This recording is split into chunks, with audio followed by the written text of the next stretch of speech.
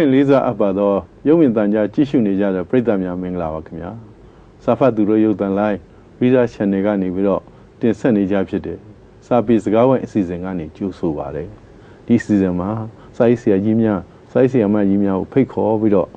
စာပေဘုဒ္ဓတိုးပွားရေးအတွက်ကိုဆွေးနွေးလျက်ရှိပါတယ်ဒီပတ်မှာကျွန်တော်နဲ့အတူဆွေးနွေးပေးမဲ့ဆရာမကြီးနှစ်ဦးကတော့ဆရာမ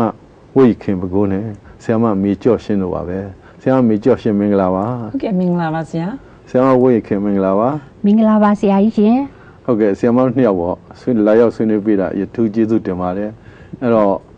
ဆရာမနဲ့အပြင်မှာတိုင်ပင်ရတဲ့ခေါင်းစဉ်လေးပေါ့လေဆရာမေကျော်ရှင်ခေါင်းစဉ်လေးပြောပြပေးပါဦးကဲလူငယ်မှတ်သားတုတ္တစကားပါဆရာဟုတ်ကဲ့ဟုတ်ကဲ့ပါကျွန်တော်တို့ဒီနေ့ဆွေးနွေးသွားကြမယ့်အကြောင်းအရာတော့လူငယ်မှတ်သားတုတ္တစကားဆိုတဲ့ခေါင်းစဉ်လေးနဲ့ပဲပြောသွားကြမှာဖြစ်ပါတယ်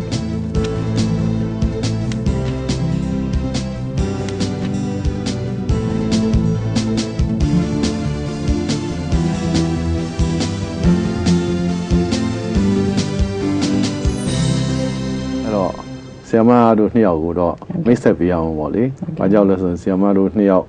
ကဆရာရေးသူတွေနဲ့လည်းမိတ်ဆက်ပေးမှာပဲဒီစာရေးဆရာတွေဘယ်သူလဲဘာတွေလုပ်လဲဆိုတော့သိကြမှာပေါ့။အဲ့တော့ဆီယမဝိခင်အနေနဲ့ပေါ့လေ။ဟုတ်ကဲ့ပါရှင်။ဟောဆီယမမိတ်ဆက်ပေးပါအောင်ကိုယ်တိုင်ပဲ။ဟုတ်ကဲ့ပါဆရာရှင်ဟုတ်ကဲ့။ကျမဟို1962ခုနှစ်မှာဘကိုးကအဖဦးသိန်းဟန်မိတော်စောနရနေပြီးတော့မူဖွားပါတယ် ပကူအထက်က3ကျောင်းကနေပြီးတော့တက္ကသိုလ်ဝင်တဲ့ဆောင်မွေးကိုအောင်မြင်ပါတယ်1983ခုနှစ်မှာရန်ကုန်တက္ကသိုလ်မှာနီးပြနေလှိုင်နေမြေမှာကျွန်မတာဝန်ထမ်းဆောင်ခဲ့ပါတယ်ထမ်းဆောင်ပြီးတော့ကျွန်မပကူမှာကျွန်မ1988ခုနှစ်ကအိမ်အောင်ကြပါတယ်ရှင်ဟုတ်ကဲ့ဘယ်ဘာသာသင်နေလဲမသိအရှိတိုင်းပညာအရှိတိုင်းပညာဟုတ်ကဲ့ပါရှင်ဟုတ်ကဲ့ပါရှင်ဟောတော့ အရင်တော့ပါဠိလို့ခေါ်တယ်ပါဠိပါရှင်ဟုတ်ကဲ့ပါမကဒေါက်တာစောထွန်းလက်ထက်ကပါရှင်ဟုတ်ကဲ့ဟုတ်ကဲ့ဟုတ်ကဲ့ရှင်အဲ့တော့ဆရာမမေကျော်ရှင်လည်းမိတ်ဆက်ပေးပါဦးဟုတ်ကဲ့ပါကျမကတော့လေဒီစာပေလောကကိုကျမစရောက်တာပေါ့နော်ဟုတ်ကဲ့ကျမတို့ဆရာကြီးကိုဒီကုံဦးဆိုင်ငွေသူကစပြီးတော့ဖွင့်အဲထုတ်တယ်ပေါ့မာလာမဂ္ဂဇင်းမှာပါအဲ့တော့ကျမ16နှစ်လောက်ပဲရှိပါသေးတယ်အဲ့ဒီမှာစပြီးကျမအမျိုးသမီးများနဲ့ပတ်ဝန်းကျင်ဆိုတဲ့ ဆောင်းပါးလေးကိုရေးပြီးတော့ကျမဒီစာပေလောကတွေကိုစရောက်ပါတယ်ဟုတ်ကဲ့အခုလောလောဆယ်တော့ကျမအဲဒီမြန်မာနိုင်ငံမှာတော့ပေါ့နော်ကျမအထက်ကနှစ်ဗပေလန်းကနေပြီးတော့ကျမဟိုပင်စင်ယူတော့ပေါ့နော်ကျမဟိုဘန်ကောက်မှာအခုဘန်ကောက်တက္ကသိုလ်မှာအင်္ဂလိပ်စာပြပါတယ်နောက်ပြီးတော့စီဝိုင်းတက္ကသိုလ်ပေါ့ Turkey Pandit University ဆိုတော့အဲ့ဒီမှာကျမမြန်မာယဉ်ကျေးမှုနဲ့မြန်မာစကားပေါ့ဆရာအဲ့ဒါလေးတွေကျမဝေမျှပေးပါတယ်ဆရာဟုတ်ကဲ့ပါဟုတ်ကဲ့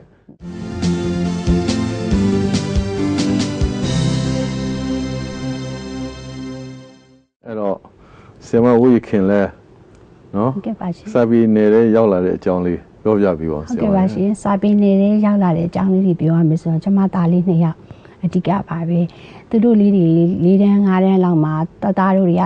ဟိုနိုင်ငံတော်အဆင့်စုလေးတွေယူတဲ့အခါမှာကျမမင်္ဂလာမောင်မဲမှာပဲရွှေရင်းသားဆိုတဲ့နာမည်လေးနဲ့ကျမကိုယ်တိုင်ဟိုသားလေးတွေနိုင်ငံတော်အဆင့်ပထမစုနိုင်ငံတော်အဆင့်ပထမစုနှစ်စဉ်ရတဲ့အတွက်ကြောင့်သူတို့လေးတွေကြောင့်ရွှေရင်းသား နာမည်နဲ့ကလောင်နာမည်နဲ့ကျမမင်္ဂလာမောင်မဲမှာရေးရေးရနေပြီးတော့2006ခုနှစ်မှာကျမဝိထုကိုစပြီးတော့ရေးပါတယ်ရေးတဲ့အခါမှာမြန်မာအမျိုးသမီးများနေအထိမ်းမှတ်တွေထုတ်လွှင့်နေအမျိုးသမီးရာမဂ္ဂဇင်းမှာကျမဖော်ပြခွင့်ရပါတယ်အခုဆိုရင်တော့နှစ်စဉ်နှစ်တိုင်းမြို့သမီးရမဂ္ဂဇင်းမှာကျမ73နှစ်တိတိကျမပင်တိုင်ဝိထုဆောင်းမရှင်ဖြစ်ပါတယ်။ကျန်တဲ့နိုင်ငံတော်အဆင့်အဖိတ်ခေါ်တဲ့ ဝိထုတို့ပြိုင်ပွဲတွေအလွတ်တန်းဆောင်းမပြိုင်ပွဲတွေဥပမာဆိုလို့ရှိရင်စတတ်မြောက်ရေးနေ့တို့ပြည်ပြည်ဆိုင်ရာမွေးစီဝါနဲ့တရားမွေရောင်းဝယ်တိုက်ဖြတ်ရေးနေ့တို့ကမ္ဘာဆရာများနေ့တို့အဲ့လိုနေ့မျိုးတွေမှာနိုင်ငံတော်အဆင့်စုတွေကျမစုစိတ်ကြော်ရရှိပြီးဖြစ်ပါတယ်။စာပေပိမှန်စာမှုစု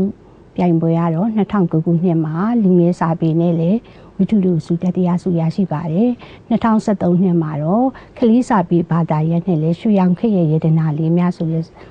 ဝိထုလူဟိုအမိနဲ့လည်းကျွန်မတတိယဒုတိယစုရရှိခဲ့ပါတယ်ရှင်ဟုတ်ကဲ့တတိယစုအဲ့တော့စာတော့ရေးနေတာပေါ့နော်ကျမစာပေလေးစင်ဆက်မပြည့်ရေးသားပါတယ်ကျမမေမြန်မာနဲ့တန်လျက်ချာနယ်မှာကျမပြင်တိုင်း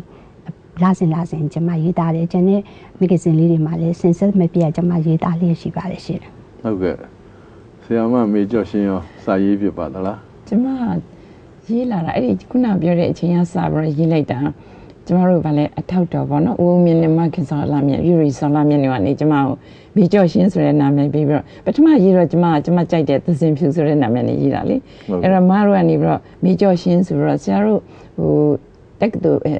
အထောက်တော်နှင်းမြန်ရကျမဆရာအရင်မှာသူကနေပြီးတော့မမမြင့်တို့နဲ့လက်ဟိုမိတ်ဆက်ပြီးပြီးတော့ အဲ့ဒီမှာရေးကျမအထောက်တော်အေထီယာအဖွဲတွေပါလေရတာသူတို့ပေးတာပေါ့နော်အပတ်စဉ်ရေးတာပေါ့လေနောက်နိုင်ငံတည်နောက်ရအမှမြဝရီဟိုအဲ့ဒီမဂ္ဂဇင်းတွေမှာရင်စန္ဒာကျမရေးခဲ့ပါတယ်နောက်ပိုင်းကျတော့ပညာရေးဌာနကကျမကိုတာဝန်တစ်ခုပေးပါတယ်အဲ့ဒါတော့ကျောင်းသင်ခန်းစာရေးပါဆိုတော့ကျမအဲ့မှာကျောင်းသင်ခန်းစာတွေလူငယ်လေးတွေအတွက်ပေါ့နော်အဲ့တော့ကျမရေးကျောင်းသင်ခန်းစာရေးရုံနဲ့မကဘူးဟိုဇာလန်းလေးတွေပေါ့ဆရာကြီးက ဟိုပညာရေးမှုကပြောတဲ့ဒါဒါလိုချင်တယ်ဆိုကျမအဲ့ဒီအပိုင်းလေးတွေကိုဇာလန်းဆင်လိုက်တယ်ဆင်မတော့ကျမကျောင်းနေလိုက်တင်ရတယ်ဆရာအဲကျောင်းနေလိုက်တင်ရတော့ကျမအဲ့ထင်မှာပဲစိတ်ကဝင်စားတော့စာရေးတာပြတ်သွားပြန်ရောဒါကြောင့်မိုက်ကစိန်လိုင်းကျမပြောတယ်အဲမရွှေကြော်ညှိလိုက်ကိုဖြတ်ပြင်းမယ်နော်တဲ့အခါစပြီးဒီဘက်ဟိုကျောင်းတင်ကန်းစားပဲပဲကျမရောက်နေတာဟိုဒီဘက်ကဝိထုဆောင်ပါလေးပြတ်သွားတယ်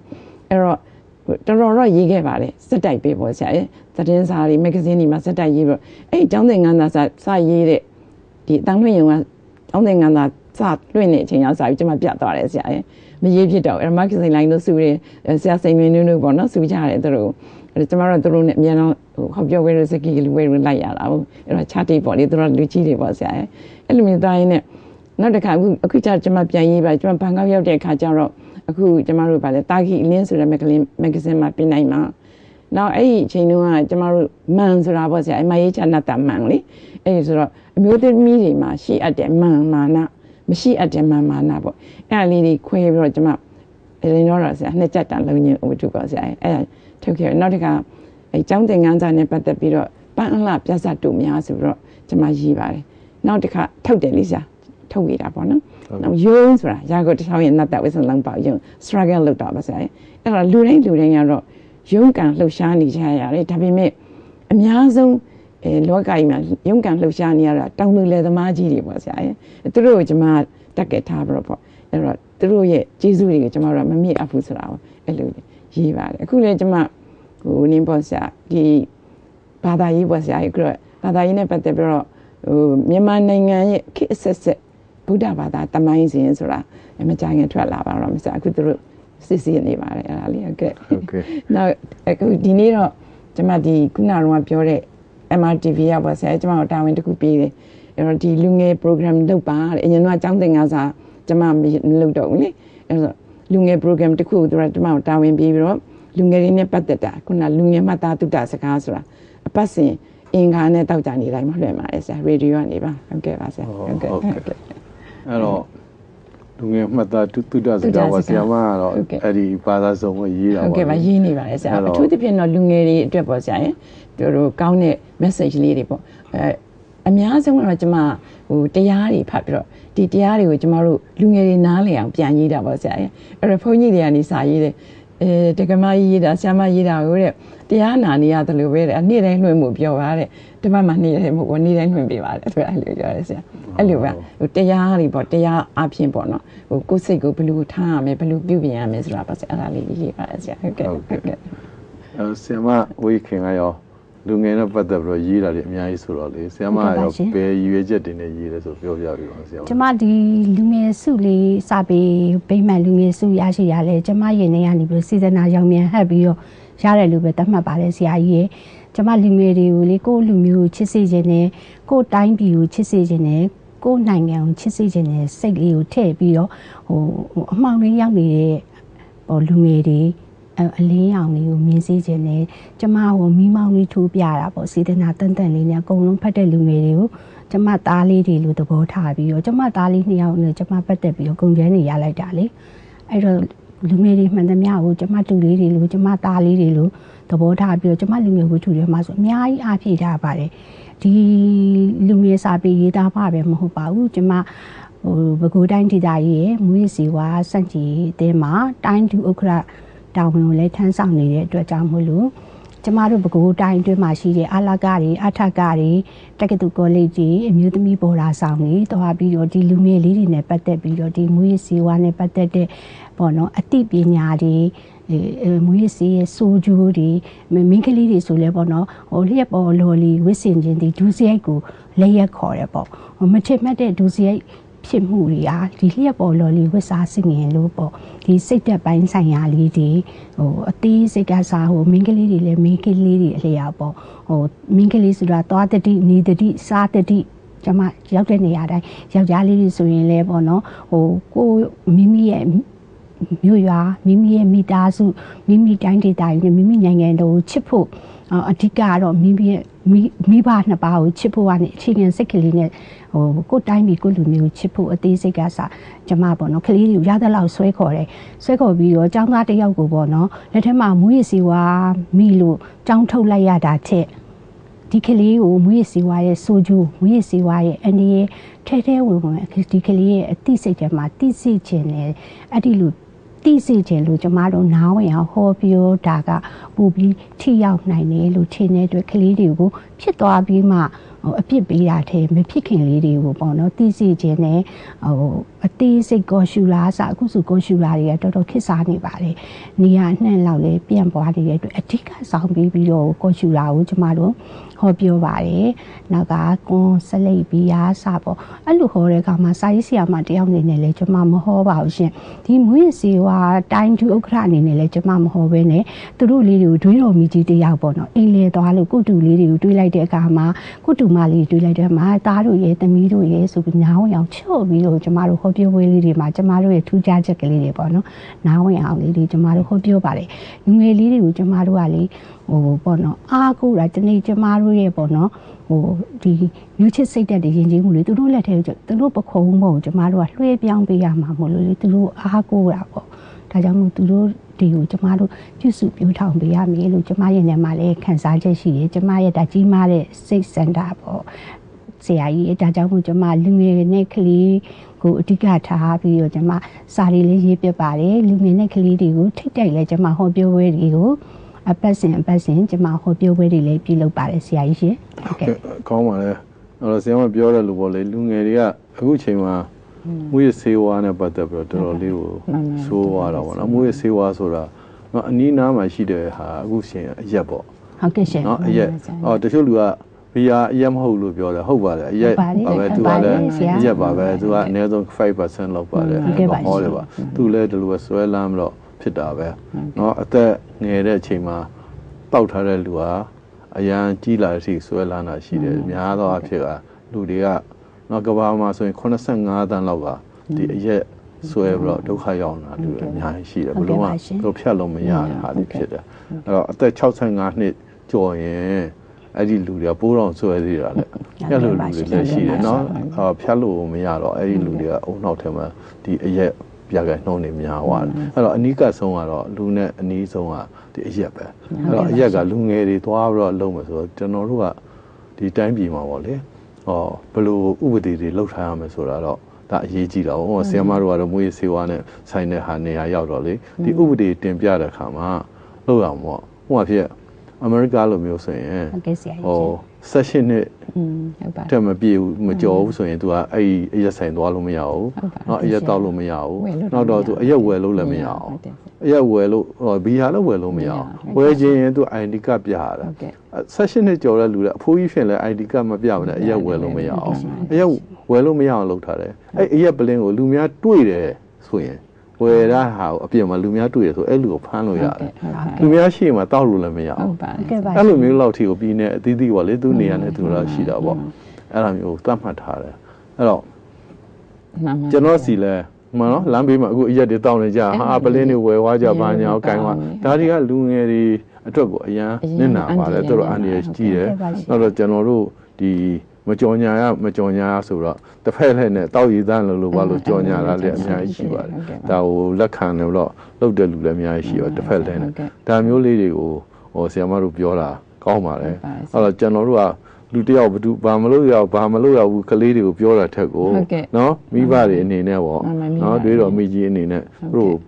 တယောက်ဆိုဆွေးနွေးတာလေးကတော့ကောင်းတာပေါ့နော်အဲ့တော့ပြောပါဆရာမတ ကျမတို့ခုနဆရာပြောသလိုဘန်ကောက်မှာထိုင်းမှာပေါ့နော်ဟုတ်ကဲ့အသက်16နှစ်မပြည့်ရင်အောက်ဆိုရင်ဝယ်လို့မရအောင်ဆရာဟုတ်ဝယ်ခွင့်မပေးဘူးခုနဆရာအဲ့တော့အဲ့လိုပုံစံလေးတွေကျမတို့နိုင်ငံမှာအဲ့လိုမျိုးလေးတွေဟိုဥပဒေတရားအနေနဲ့ချပေးဖို့ပေါ့နော်ဆရာနောက်တစ်ခါအဲ့လမ်းဘေးမှာဆရာခုနပြောလို့မြင်လို့မကောင်းဆရာရဲ့အတူအတူတပြည့်နိုင်ငံသားလာတဲ့ဆိုရင်ကျမတို့ကမျက်နှာပူရဲရှက်လာတယ်ကလေးတွေမဟုတ်ဘူးဆရာလူကြီးတွေပါထိုင်တောက်နေကြတာလေဆရာအဲ့တော့ဒီလူကြီးတွေကနေဒီကလေးတွေကိုလူငယ်လေးတွေကိုထိန်းပြီးတော့ အဲ့တော့ဒီလိုဟိုမလုတ်တင်မှုဆိုတာကိုစံပြဖြစ်ဖို့ကောင်းတယ်လေအဲ့တော့အဓိကလူကြီးတွေကိုလည်းဒါလေးတွေပညာလိုက်ပေးရင်ကောင်းမယ်လို့ထင်ပါတယ်။နောက်မူရည်စီးနဲ့ပတ်သက်ပြီးကျမရေးခဲ့တာတော့မူရည်စီးဝေးဝေးရှောင်းဆိုရပေါ့နော်အဲ့ဒါကိုကျမတို့ဘန်ကောက်မှာကျမတို့ရေဒီယိုမှာလွှင့်တော့လဲကျမတို့လွှင့်ပါလေအဲကျမသားကလည်းသူသူကိုယ်တိုင်ပြောပါလေသူကသူလည်းလူငယ်တယောက်အနေနဲ့သူကပြောတာပေါ့နော်အဲ့တော့အဓိကကတော့စိတ်ပဲပေါ့ဆရာရဲ့စိတ်ကနေပြီးတော့ဒီဟာကို ဟိုမတော့မလုတ်ချင်ဘူးပေါ့နော်မစားချင်ဘူးဒီမူရစီကိုမတုံးချင်ဘူးဆိုရင်ကိုယ့်စိတ်ကိုကိုယ်ပြန်ပြီးထိန်းရမယ်ပေါ့ဆရာအဲ့တော့သူလေးအဲ့မှာဟိုကျမတို့တော်တော်လေးကိုလှုပ်ရှားခဲ့ပါတယ်ဆရာနောက်ကျမတို့ဒီအထက်ကနှစ်ဗဘေးသားမှာလှုပ်တုံးရမယ်အဲ့တော့ဆရာလည်းသိမှာပါတကယ်ဝင်နေပေါ့စီမံကိန်းအနေနဲ့ကိုလေစီမံချက်တည်းအနေနဲ့လှုပ်တော့အဲ့မှာကျမတို့ပြန်ရတယ်ဆရာ ကျောင်းသားတွေပေါ့နော်တချင်းရေးတာပြန်ရတယ်အကုန်လုံးတချင်းတွေအုပ်စုဘတ်လူကလေးတွေကျမတို့ရေးပြီးတင်ပြီးအမူရစိတ်နဲ့ပတ်ဘယ်လိုရှောင်တိန်မလဲဆိုတာလေးတွေလေအဲ့ဒါလေးတွေလည်းပြန်လုပ်ဖို့ကောင်းပါတယ်ဆရာကျောင်းနေရနေပြီးတော့လေဆရာဒီဟိုလင်းပေါ့ဟိုအပြိုင်ပေါ့ဆရာအဲကဲဒီမူရစိတ်နဲ့ပတ်သက်ပြီးတော့ဘယ်လိုစီမံချက်တွေချမလဲအဲ့ဒီကျောင်းကတစ်မျိုးဒီကျောင်းကတစ်မျိုးအဲထက်တန်းကျောင်းလေတန်းကျောင်းတွေကရောပြီးတော့ဒီစီမံချက်လေးတွေနဲ့လုပ်မယ်ဆိုရင်ကျမထင်တယ်အောင်မြင်မယ်လို့ထင်ပါတယ်ဆရာနှစ်တိုင်းတော့လုပ်နေကြအောင်ပေါ့နော် အဲ့တော့မှဒီဆရာဆရာမတွေကလည်းမှန်ပါတယ်ဆရာပြောပြတော့ကျွန်တော်တို့မှုရဲ့မှန်ပါတယ်စီဝါကင်းစင်နေမြေတို့ဘာလို့တတ်မှတ်တော့သူတို့လောက်ကြတာတွေရှိပါတယ်မှန်ပါတယ်ဆရာအဲ့တော့အမျိုးမျိုးပေါ့လေဆရာမရဲ့ဟုတ်ပါအဲ့တော့လူငယ်စိတ်ဓာတ်တွေကခုနပြောတယ်လို့ပေါ့မှုရဲ့စေဝါဟိုစိတ်ဓာတ်တစ်ခုနဲ့တော့သူကဟိုရှောင်လို့တော့မရအောင်ဟုတ်ကဲ့ပါဆရာဟိုဆရာမပြောတယ်လို့လေဟုတ်ကဲ့ဟုတ်ကဲ့ဒါစိတ်ဓာတ်နဲ့ရှောင်ရမှာပေါ့ဟုတ်ကဲ့သို့တော့မရလို့ပဲစွဲကြတာပဲဟုတ်ကဲ့ပါသူကဆွဲလန်းစေကြတဲ့ဟာဆရာဒါတွေကကျွန်တော်တို့ကလူငယ်ဆိုတော့ စူးစမ်းတယ်လေစူးစမ်းပြီးတော့စူးစမ်းတယ်အဲ့ဒါကိုစမ်းကြည့်လိုက်မယ်ဆိုတဲ့ဟာဟုတ်တယ်အဲ့ဒီစမ်းကြည့်တာမသိဘူးဆိုတဲ့အကြောင်းကိုတို့သိအောင်လို့ကျွန်တော်တို့ကပြောရမှာဟုတ်ကဲ့ပါရှင်ဒါဆိုရင်ဟုတ်ကဲ့သူကတခါအဲ့ထဲကိုရောက်သွားပြီးရင်တောင်းတောင်းပြန်မထွက်နိုင်တော့ဘူးလေပြန်မထွက်နိုင်ပါဘူးဆွဲပါလားဟုတ်ကဲ့သူပတ်ဝန်းကျင်ကလူတွေလည်းအရန်နဲ့နာကြတာဟုတ်ကဲ့ပါရှင်ဟုဟုတ်တ်ကဲ့ကဲ့ပါ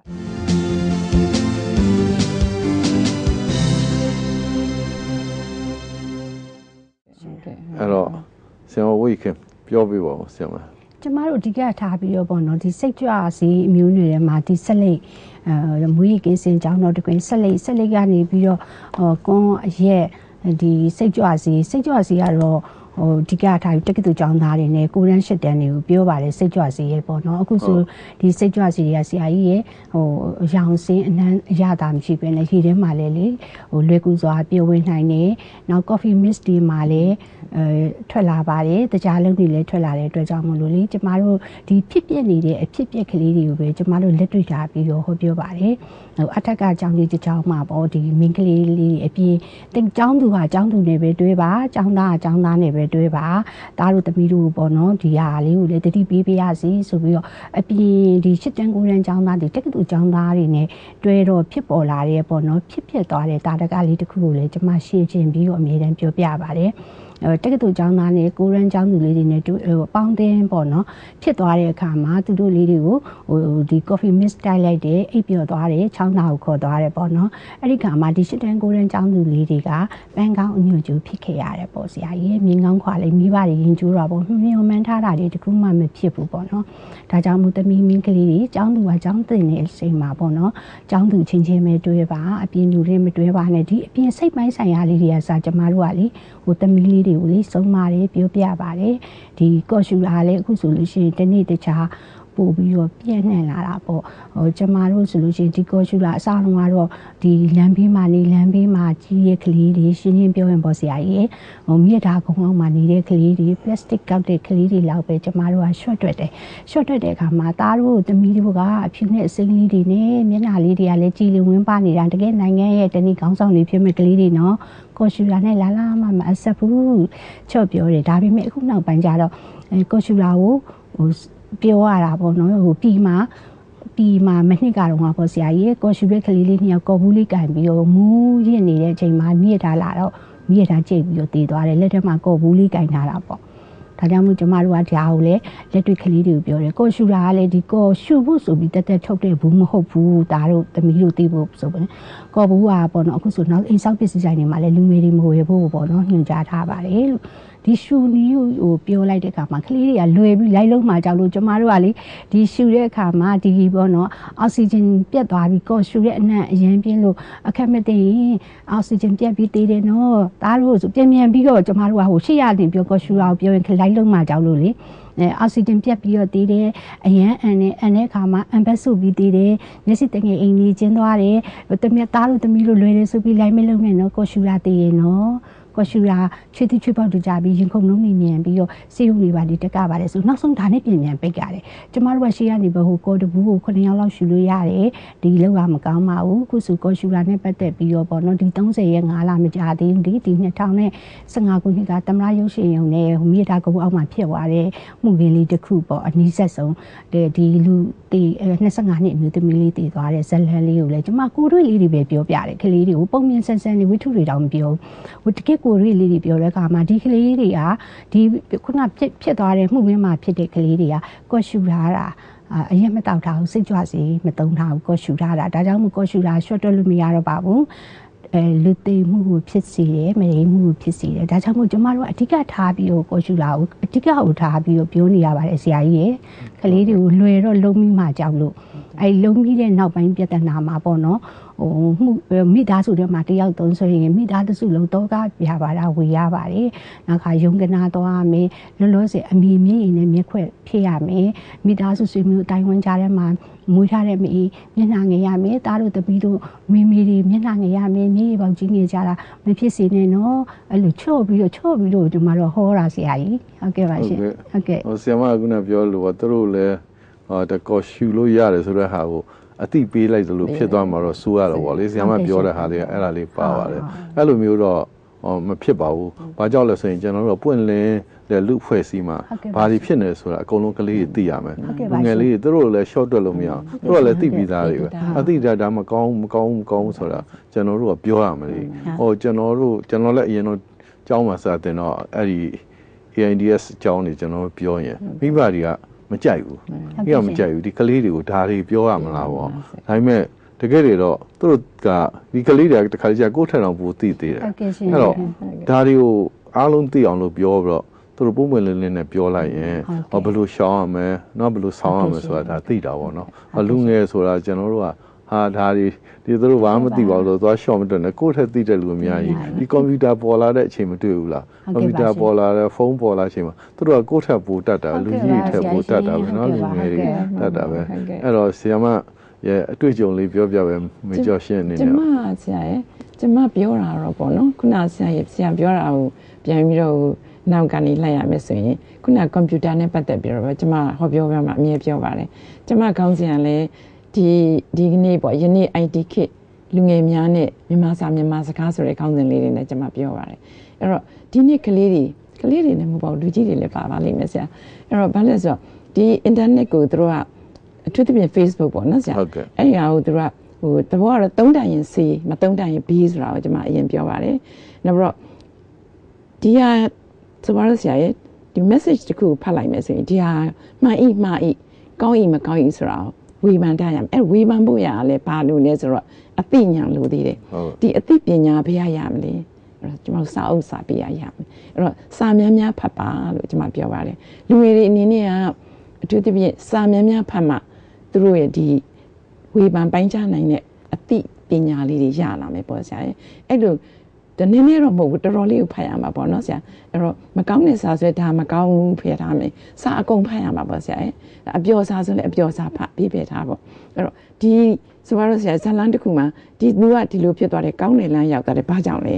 မကောင်းတဲ့လမ်းရောက်ဆိုတော့ပလိဖန်ခံတယ်ဘာကြောင့်လဲပေါ့အဲ့တော့အဲ့တော့ဘယ်လမ်းကိုလိုက်မလဲပေါ့ဆရာရဲ့အဲ့တော့ပလိဖန်ခံမလားကောင်းတဲ့လမ်းကိုလိုက်ဒါကိုယ့်ရဲ့အသိဉာဏ်နဲ့ပြန်စဉ်းစားရမယ်ပေါ့ဆရာအဲ့လိုမျိုးလေးတွေကျွန်မပြောပါတယ်နောက်မြန်မာစာနဲ့မြန်မာစကားဆိုတာတော့ ထားပါတော့ဆရာရဲ့ဒီနေ့ပြောနေကြတာအဲ Facebook မှာအများဆုံးသုံးနေကြတယ်လူငယ်တွေသိပါတယ်တေရင်ဆိုတာလေကျွန်မဆောင်းပါးတစ်ခုရေးပါတယ်တေရင်ဆိုတာမြန်မာစကားလားဆိုပြီးတော့အဲ့ဆောင်းပါးလေး Facebook မှာတော့ကျွန်မအများအားရေးပါတယ်ဆိုလိုတာဆရာရဲ့မတာရင်နဲ့ချဝင်သူငယ်ချင်းဒါပေမဲ့သူမထည့်ပဲနဲ့လက်ချောင်းကိုဖြတ်လိုက်ပါလက်ခံပါတယ်တငယ်ချင်းဆိုလက်ခံနိုင်ပါတယ်လို့ဒါပေမဲ့တည်ရင်ဆိုတာတော့အားလုံးအနေနဲ့အထင်မှားသွားမယ်ဒါကြီးကိုစွဲသွားမယ်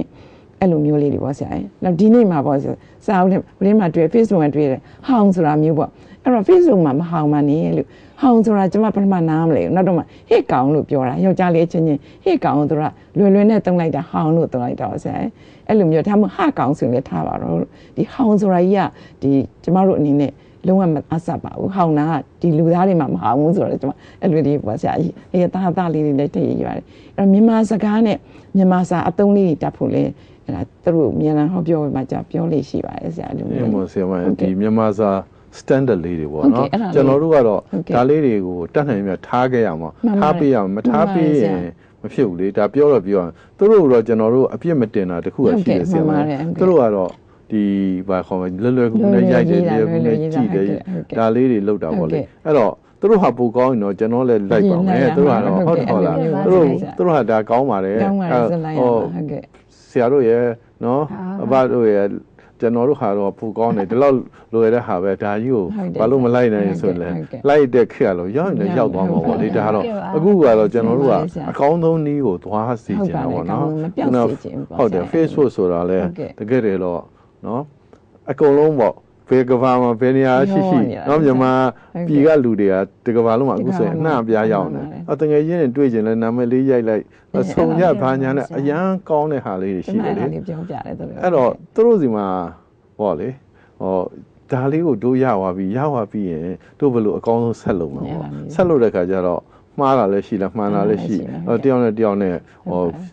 ဆွေးနွေးကြပြောကြတယ်ပေါ့လေဒါနဲ့ခီးသွားကြမှာပေါ့ကျွန်တော်တို့ကနော်အဲ့တော့ခီးသွားရင်းနဲ့ ဟောအသိပညာတွေအများကြီးရပါတယ်အဲ့ထဲကနေတော်တော်လေးကောင်းပါလူငယ်တွေရဲ့ဟိုအားတွေလည်းထွက်လာပါတယ်ချိန်ကြတော့ Facebook က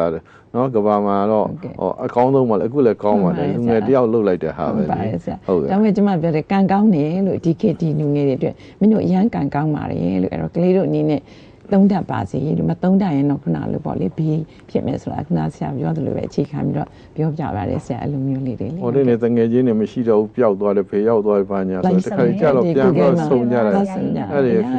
အဲ့ဒီ Facebook လေးနဲ့ဆုံကြတဲ့လူတွေအများကြီးတွေ့တယ်အများကြီးကောင်းပါတယ်ဟုတ်ကဲ့တနေ့တနေ့ပေါ့ကျွန်တော်တို့က သတင်းစာထွက်မဲ့စာသတင်းစာကလည်းအရှိကြီးတွေမကြည့်နိုင်လေ Facebook မှာဆိုအနည်းဆုံးသတင်းလေးရတယ်ကိုယ်လည်းမကြည့်နိုင်တော့တကယ်ချင်းကပြောသေးတယ်ဟေးမင်းဒါလေးတော့တက်လာပြီနော်ဒီသတင်းလေးကဖြစ်တယ်အဲ့တော့မင်းကဒီမှာရေးရတဲ့ဟာတွေကွာမကောင်းတာရွေးဖြစ်နေမင်းကဒါကြီးမကောင်းတာကြီးမဖတ်မှာမဟုတ်ကွာတရားမှာကောင်းတာလေးလည်းပါတယ်ဒီကောင်းတဲ့ဟာလေးကိုကြည့်ရမှာပေါ့ဒီ အဲ့တော့ तू မကောင်းတာရေးတယ်လေကိုကကောင်းတဲ့ဘက်ကိုကြည့်ပေါ့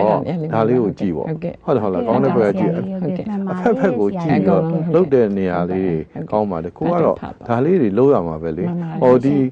ဒီခေတ်မှာ Facebook သွားပြီးတော့မကြည့်ဘူးဆိုရင်တော့နည်းနည်းလေးတော့ဖြစ်တော့ပါအနည်းဆုံးကိုယ်တိုင်မကြည့်ရင်တော့မှသားသမီးတွေရှိနေအခုလည်းသူတို့ကိုလည်းအကောင်းဆုံးဖြစ်အောင်တော့သူတို့ဟိုသွန်းတင်ညွန်ပြပြီးတော့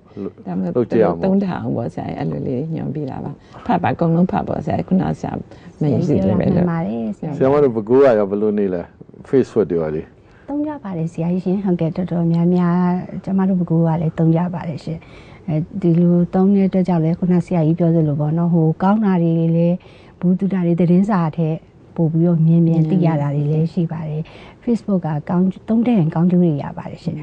အဲဘုဟုတုတအနေနဲ့ကတော့ရှိတာပေါ့လေအဲ့တော့လူငယ်တွေကလည်းအဲ့ဒီပုံမှာစားရိုက်တော့စားရိုက်တော့စိတ်မရှိတော့စလုံးတွေကညံ့ညံ့ရိုက်တာညံ့ရိုက်ပြီးတော့စလုံးတွေမှားတော့ခုနဟောင်းနေပါဖြစ်သွားတော့ဟုတ်ကဲ့ပါအဲ့ဒါဆရာကြီးရှိတယ်ဟုတ်ကဲ့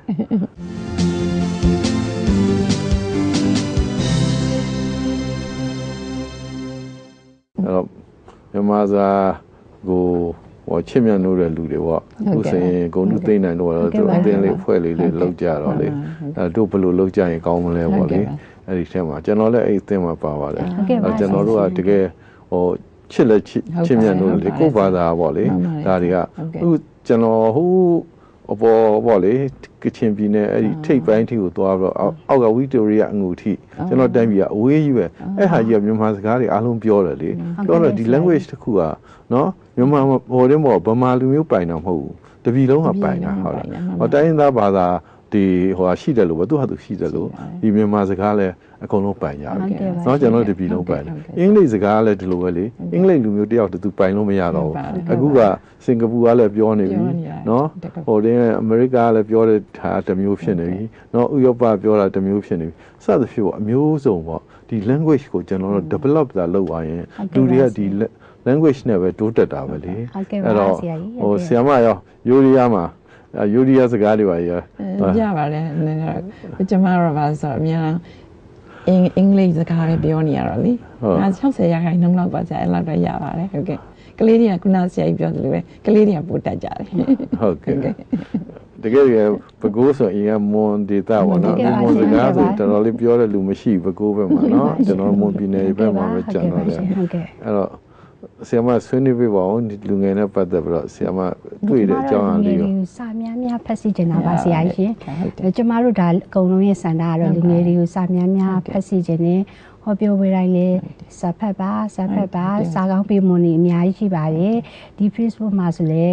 အဘူတုဒ္ဒတွေကိုမှတ်ပါစာအုပ်နဲ့ပေါ့နော်စာအုပ်တအုပ်ကိုရေးထားပါယူပြီးတော့ Facebook ကကောင်းတဲ့အချက်တွေကိုမှတ်ပါအပြင်စာတွေစာကောင်းပေးမွန်နေဖတ်ပါ စာကြည့်တိုက်တွေသွားပါရောက်တဲ့နေရာတိုင်းမှာစာဖတ်စီကျင်လို့ပေါ့နော်ကျမတို့တက္ကသိုလ်တက်တုံးကဆိုစာရေးဆရာကြီးငိမ့်ကြော်လေးဆရာကြီးရတာရတာမှာတခက်တတဆူပေါ့အဲကျမတို့တက္ကသိုလ်ကျောင်းသူတို့ကဆိုဒီငိမ့်ကြော်ဝေထုဆိုဟိုကျမဖတ်ပြီးဟိုဘက်ခံပြီးလာငားနေတာအစင်တင်လေသူကဒီစာဖတ်ခြင်းနဲ့ပတ်သက်လို့ရေးထားတာလေးကိုကျမနှလုံးသားထဲမှာအမြဲတမ်းဆွဲပြီးတော့ ကျမဟိုဟောပြောဝေးမှာပေါ့နော်ဆရာကြီးဆရာကြီးငိမ့်ကြော်ဆိုရင်စာဖတ်ပါဤကနိဗ္ဗာန်သို့သွားရလံဤကနှက်ပြီးသို့သွားရလံဤကဤကရေးပြီးသို့သွားရလံဒီအရှိအနောက်တောင်မြောက်ဝေးရသွားလို့ရကိုစာကညွန်ပြပါလိမ့်မည်တဲ့အဲ့ဒါလေးကိုကျမအမြဲတမ်းပြောပြတယ်ဒါတို့ စာကပဲညွန်ပြပါလိမ့်မယ်စစ်ဘူကြီးဖြစ်ချင်လားဆရာဝန်ကြီးဖြစ်ချင်လားအင်ဂျင်နီယာကြီးဖြစ်ချင်လားကျောင်းဆရာကြီးဖြစ်ချင်လားဘောနော်စီးပွားရေးလုပ်ငန်းစွမ်းဆောင်ခြင်းအမျိုးအမျိုးသားကောင်းကြီးအမျိုးသမီးကောင်းကြီးဖြစ်ချင်လားဒီစာပဲညွန်ပြမှာနော်ဆိုပြီးတော့ကိုဘွားကိုအောက်ကိုဆင်းသွားမလားစာဖတ်စာဖတ်ပါဆိုပြီးတော့ပဲသူတို့စာဖတ်တာလေးအဓိကထားပြီးတော့ပဲကျွန်မဟောပါတယ်ဆရာကြီးရှင်ပြောပါတယ် ဟုတ်ကဲ့ဟုတ်အဲ့တော့လူငယ်တွေရဲ့ဟုတ်ကဲ့အာမန်နဲ့ပတ်သက်ပြီးတော့ဆီယမရေးတဲ့အကြောင်းအလေးတစ်ခုတော့ပြောပြပြပါဆီယမလူငယ်တွေရဲ့အားမှန်နဲ့ပတ်သက်ပြီးဆိုတော့ကျွန်မကလူငယ်စာပေဗိမာန်စုရပါတယ်တရားလေးနေကြီးဖြာမနှွေးသောကြောက်ဆိုတော့ဝိထုလေးကတော့ကျွန်မကိုတွေ့လေးပါပဲဆရာကြီးဟုတ်ကဲ့ဆီယမပြောဒီပြပါဦးဝိထုလေးကကျွန်မဒီညောင်ဦးကိုကျွန်မဒီလိုဝါဝင်ကာစလေးပဲကျွန်မညောင်ဦးကိုရောက်သွားပါတယ် ညောင်ဦးရောက်သွားတဲ့အခါမှာအဖိတ်နေလေးတစ်နေ့မှာပေါ့ဒီဟိုဝစ်အဖွဲရနေပြီးတော့ညောင်ဦးမြို့မှာလှည့်နေတဲ့အချိန်လေးပေါ့အဲ့ဒီအချိန်မှာရှေ့ကနေပြီးတော့ဟိုယောဂီဝစ်ဆုံအအိမ်ကြီးကြောက်သားလေးတွေအဖြူလေးတွေနဲ့ယောဂီပစိုးလေးတွေနဲ့တန်းစီပြီးတော့လှည့်တယ်သာသနာအလန်ရှိကနေပြီးတော့ဂိုင်းနေနောက်ပြီးတော့ငွေဖလားကြီးဂိုင်းနေမောင်းတီးရေကြေးမောင်းတီးရေနောက်ကနေစွန်းတော်အုတ်တန်းထန်းစွန်းတော်အုတ်ထန်းနဲ့အဖွဲတွေပေါ့ပြီးတော့မှဟို TV အဖွဲတွေ အဲအနောက်ကအလေကနေပြီးတော့မှတီတီတန်းတန်းငိမ့်ငိမ့်ခန့်ခန့်ကြီးနဲ့နေကြီးကုန်တီးလာတာဒီနေကြီးကုန်တီးလာတာကိုကြည့်ပြီးဓမ္မတီးတွေဗုဒ္ဓတီးတွေပေါ့နော်တီးလာတော့ကျမရင်ထဲမှာပေါ့ဟိုကြည်နူးပီတီဖြစ်မိတယ်။အိုတို့ဗုဒ္ဓဘာသာဓမ္မတေးတွေဒီဒီကနဝင် ဒီတေးတွေနဲ့ကျမဟိုဟာလေရှင်ပြောတာမဟုတ်ဘူးပေါ့နော်ကျမတို့ကနဝင်တေးတွေကိုလည်းကြိုက်နှစ်တက်တယ်ကျမတို့ကိုယ်၌ကလည်းကျမကိုယ်၌ကလည်းတချင်းဆိုတော့ဝါဒနာပါတယ်ဒီဗုဒ္ဓတေးတွေဓမ္မတေးတွေကကျမတို့ရဲ့ပေါ့နော်တာသနာတော်ကြီးရဲ့ဟို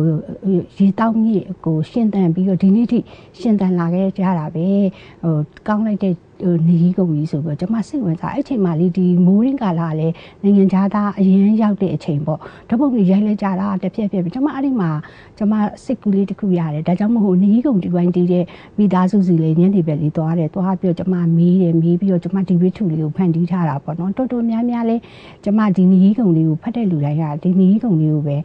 အဲမီးကြတယ်ဆီယာမကနီးကုံရေးထားတာကိုယ်ပြောက်နေတဲ့နီးကုံဆီယာမပြန်ဖော်ပြီးတော့ပေါ့နော်ရေးထားတာလေးကောင်းလိုက်တာဟုတ်ပါတယ်ကျမစီနီဆရာဆိုတာဟိုခေတ်ကျမတို့ပကံခေတ်မတိုင်ခင်လက်ထက်တရားပေါ့နော်မြန်မာစာဆရာကြီးဥဖိုးလက်စာအုပ်တွေလည်းကျမပြန်ဖတ်ပါတယ်လို့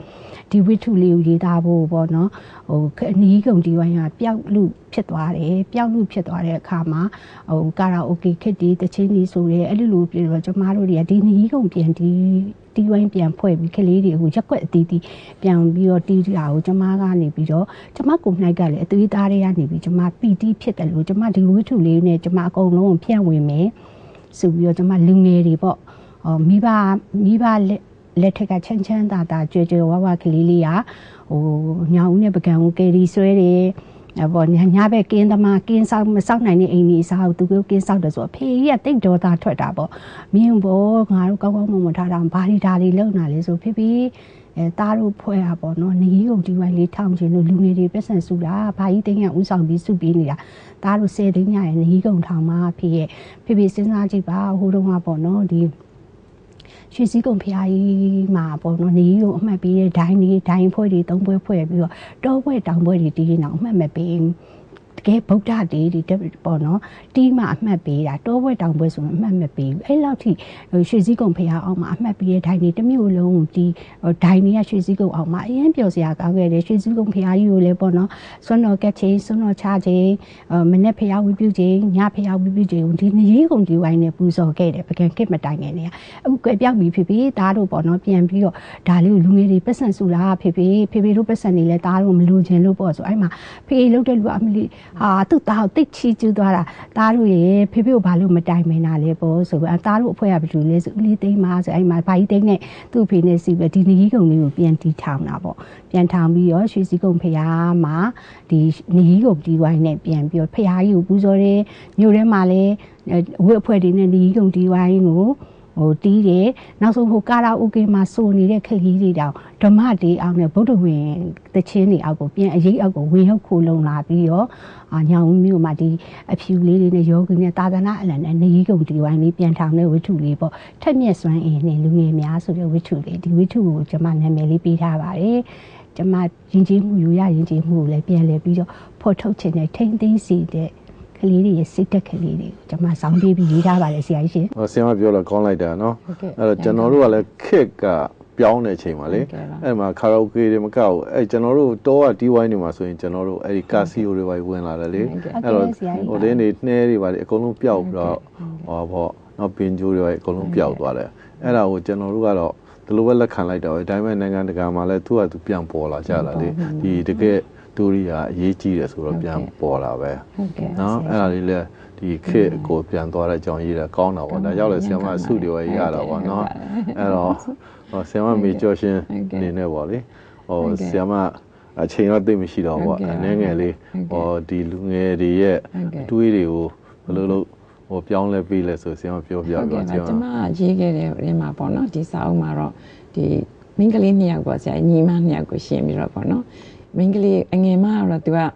ဟိုသူတို့ကအရန်ပတ်စံချမ်းသာတဲ့တတိသမီးတွေလေဒါပေမဲ့အငယ်မကတော့ခုနကခစ်နေလိုက်ပြီးတော့အပျော်ပါပေါ့ဆရာခုနကလေပေါ့ဟို dance တွေပဲတော့ပေါ့အကြီးမှကျတော့သူကဟိုကျောင်းဆရာမဘက်ကိုပါဆရာအဲ့လိုပေါ့နိုင်ငံပြုပြီးဘက်ကိုသူကအာယုံစိုက်ပြီးတော့အဲ့လိုသွားပြီးတော့ညီမနှစ်ယောက်ကိုရှင်ပြီးတော့ပေါ့အဲ့တော့နောက်ဆုံးကျတော့ဒီကျောင်းဆရာမလေးကသူ့မိဘရဲ့မာနာတဲ့လုပ်ငန်းကိုမလုပ်တော့ဘဲနဲ့သူကနိုင်ငံအတွက်ကိုသူကဟိုရင်းလုပ်ပြီးတော့သူ့ရဲ့ လှုပ်အားတွေပေါ့ခွန်အားစွမ်းအားတွေအကုန်လုံးနိုင်ငံအတွက်သူကပေးလူတဲ့အနေနဲ့ဟိုရှမ်းပြည်ရှမ်းပြည်ဘက်ကိုသူကသွားပြီးတော့ကျောင်းဆရာမသွားလုပ်တယ်မိဘကလည်းမကျေနပ်ဘူးပေါ့ဆရာအဲ့တော့ဒီဘက်မှာလည်းညီမလုပ်တဲ့လူကဘွဲလေးရတယ်ဒါပေမဲ့သူကခုနလိုအပျော်ပါနေပဲဟိုခုနသူ့ရဲ့မိန်းကလေးတယောက်ရဲ့ရှိအပ်တဲ့ထားအပ်တဲ့မမှန်နာအောင်မထားဘဲနဲ့သူကရင်းတော့သူ့မှာနည်းနည်းဟိုအခက်အခဲတွေပေါ့ဝင်းနေစရာတွေနဲ့ကြုံရတယ်ဟိုဘက်ကကျတော့သူကမမှန်နာသူထားတယ်သူ ကနိုင်ငံအတွက်ကိုသူကသူ့မာနာဆရာရဲ့ဟိုဘာလဲကြက်ကောင်းကျိုးကိုသူလုံမေးဆိုတဲ့ဆုံးဖြတ်ချက်ပေါ့ဒီမိဘရဲ့ဟိုရင်းကိုလည်းဟိုလွန်ဆန္ဒတော့မဟုတ်ပါဘူးဒါပေမဲ့သူခွင့်တောင်းတယ်ပေါ့သူလုပ်ပြစေဆိုတော့သူ့မာမာနာသူကအဲ့လိုမှထားတယ်ကျမအဲ့မန်ဆိုတဲ့ဆောင်မှအဲ့လိုခွဲပြီးတော့ဆရာရဲ့ဟိုညွန်ပြလိုက်တာပါဆရာဒီဘက်ကတော့ကောင်းတဲ့မာနာထားတဲ့အတွက်မန်ပေါ့သူ့ရဲ့အာမန်နဲ့သူကနိုင်ငံအကျိုးဆောင်တယ်တယောက်ကတော့မထားတဲ့မန်ကြောင့်သူ့ရဲ့ဘဝပျက်စီးသွားတယ်ပေါ့ အဲ့လိုပြောတော့ကလေးတွေကိုကျမကနေပြီးတော့ကဲလူငယ်တွေအနေနဲ့လဲပေါ့နော်အဲ့ဒါစဉ်းစားကြည့်ပါပေါ့ဒီဘက်ကဟိုကိုယ့်ရဲ့ယောက်ျားလေးရောမိန်းကလေးရောပေါ့ဆရာလူတိုင်းမှာတော့မှန်ဆိုတာရှိတယ်မာနဆိုတာရှိပါတယ်ဒါပေမဲ့ဟိုဒီလိုမျိုးပေါ့မကောင်းတဲ့နေရာမှာသွားပြီးတော့အာဆိုတော့ငါကတော့လှလို့မာနကြီးတယ်တော့ပတ်စံနေချမ်းသာလို့မာနကြီးတယ်ဆိုတာမျိုးပေါ့ဆရာအဲ့လိုဂုဏ်တွေကိုမာနမှန်မထားတဲ့မင်းနဲ့တကယ်ကိုကိုယ့်ရဲ့ပညာနဲ့ကိုယ့်ရဲ့တက်ကြွနဲ့ဟိုမှန်ကန်တဲ့လမ်းကိုရှောက်ပြီးတော့ ဒီမှန်မှန်ကန်ကန်သွားတယ်ဆိုတော့အဲ့သွားမယ်ဆိုတော့အာမှန်ကိုသွင်းမှအဲ့အဲ့ဒါလေးကိုကျွန်မသူတို့နှိုင်းပြီးတော့မှန်လေးတွေမှန်ဆိုတဲ့စာကိုရေးခဲ့ပါအခုလည်းဒီအကြောင်းသင်ခန်းစာမှာလည်းဒီလိုက်ဒီတိုင်းပါပဲဆရာသူတို့အတွက်ပေါ့နော်ဒီကောင်းတဲ့လမ်းလေးတွေကိုဘယ်လိုရှောင်ရမကောင်းတာလေးတွေကိုဘယ်လိုဖယ်ရမယ်ပေါ့ဆိုတော့ပြောသလိုပေါ့ဟိုမိရဲ့စီဝါသုံးကျင်နေပေါ့ဆရာရဲ့ဒီသုံးကျင်နေတဲ့စိတ်ကိုတခြားပေါ့ဆရာရဲ့ဟိုဆိုတော့ဟို အချိုလေးတွေသွားတောက်လိုက်မယ်ပေါ့ဆရာရဲ့အဲ့လိုမျိုးလေးတွေပေါ့ဒါပေမဲ့ဒီကလေးတွေကမကောင်းဘူးသူတို့ကမကောင်းဘူးမိရဲ့စီဝါသုံးနေတာသိရင်ဝီးဝီးနေဖို့ပေါ့ဆရာရဲ့အဲ့ဝီးဝီးရှောင်ပါဆိုတော့အဲ့လိုမျိုးတွေလေး message လေးတွေကျွန်မပေးပါတယ်ဆရာအားလုံးပေါ့ဆရာရဲ့ဟိုရင်းပေါ့ generally ပါကျွန်မတို့တို့ရဲ့ဘဝအတွက်ပညာရေးအတွက်နောက်ပြီးတော့ဟို